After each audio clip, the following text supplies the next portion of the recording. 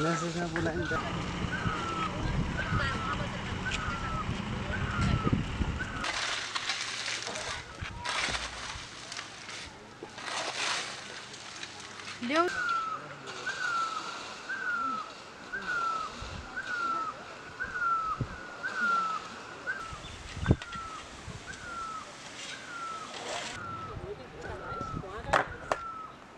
बोलायो नि त ल्याउ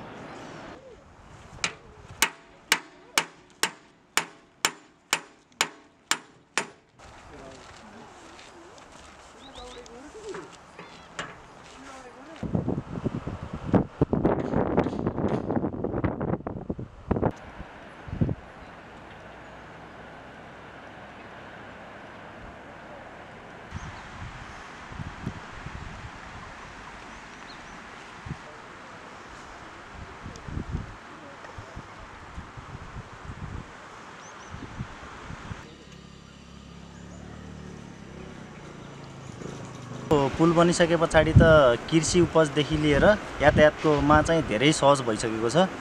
यो बाटोले झन्डै बागलुङ बजार जानको लागि हिँड्न सक्नेलाई एक घन्टाको बाटो र हिँड्न नसक्नेलाई झन्डै दुई घन्टा बाटो लाग्थ्यो। यो पुल बनिसकेपछि दस मिनटमा अहिले हामी बागलुङसँग जोडिसकेका छौँ।